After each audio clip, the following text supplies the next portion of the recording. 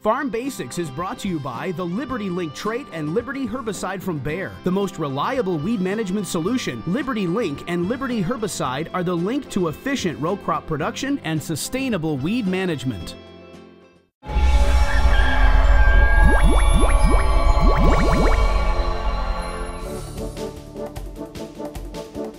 This time of year, we think about how we don't want to be standing around in the mud when we get those spring rains and that kind of thing. You know, it's a temporary inconvenience. But for our plants that are out in soil that is wet, well, it's not a temporary inconvenience for them. They're stuck there 24 7, and crops just don't like wet feet. And what we're really talking about here is not just that there's moisture in the ground, it's that there's so much moisture in the ground that the water table has come up into the root zone. That's what we as farmers worry about. When both Darren and I went to college, years and well, years and years and years ago.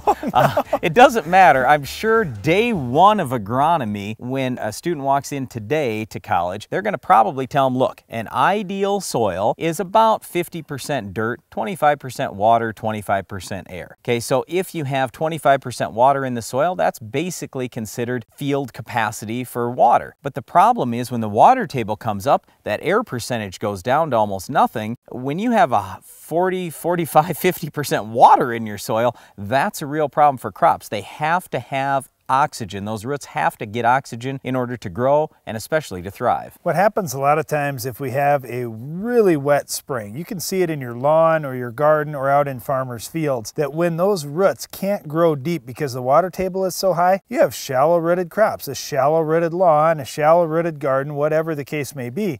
Now the summer comes around and it gets hot and it gets dry and our roots are so shallow, our crop is really susceptible to heat stress and also lack of moisture stress because we don't have a good deep root system. The other thing that can happen is if we have heavy winds, a lot of times they'll have what they call lodging, and that's where the crop will tip over because it doesn't have a big anchor with the root system. Instead, it's got a very shallow root system, so it's very susceptible to damage from wind. So we have to be really cautious about that. If there's anything we can do to keep our crops from having wet feet in the spring, that's an important management practice. One of the management practices that most farmers are using today is called tiling. And this goes back to years ago when they actually used to put clay tile in the ground. Well, today it's all done with plastic. It's the same stuff you put around your house and run it into your sump pump. That's what farmers are using out in fields. Four inch or six inch tile lines, we call them. Just plastic tubes running, let's say, every 40 or 50 feet out in the field. And the point is not to remove all the water, not even to remove lots of water,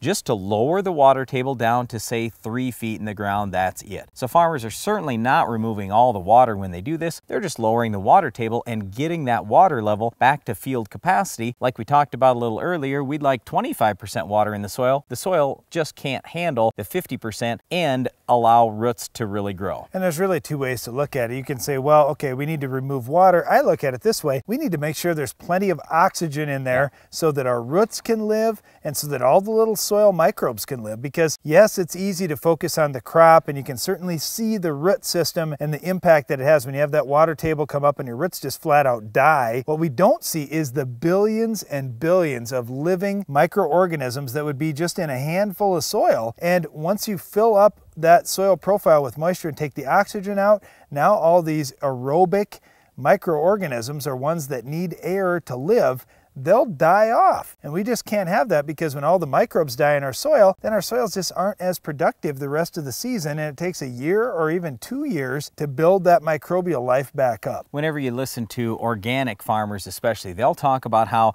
we've got to have that soil in good condition and it's got to be a living organism and it can really help crops without the use of chemicals and things like that. Well, you know what? One of the most important factors there is, is having enough oxygen in the soil. So if a farmer can't do that, there's no way, whether he's using herbicides or he's not, whether he's using fertilizer or not, there's just no way to raise a good crop. So if you want to be successful raising any crop, you have to make sure that it doesn't have wet feet and there's plenty of oxygen in the soil. The other thing you'll have to do is make sure you don't have weeds competing with your crop, like our weed of the week. Can you identify this week's weed?